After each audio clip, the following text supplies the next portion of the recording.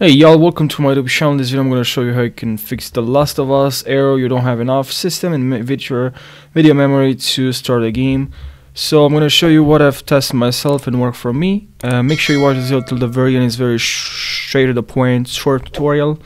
Make sure you subscribe, I really appreciate it and really help a lot. So subscribe and like this video. Now let's jump right in the video. So what you have to do, go to adjust the appearance and performance of Windows. Make sure here you, if you set to performance, make sure you click on a custom and then here you only enable smooth edges of screen fonts and then enable show timeless instead of icons. And then you go to advanced, you go to change and here you have to go to the calculator on your computer and why is now working?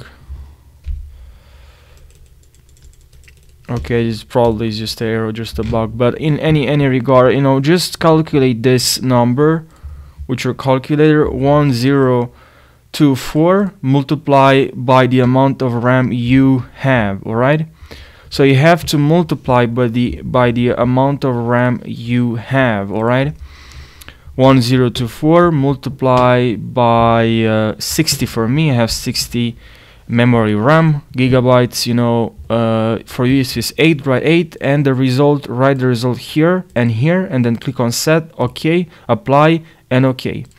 Alright also go to personalize and colors and turn off transparency effects so I hope guys this worked for you. I hope now you can enjoy the game without any frustration at work. The game is giving you errors. I really hope that. Thank you so much for watching. I hope you're gonna have a fantastic day. Take care.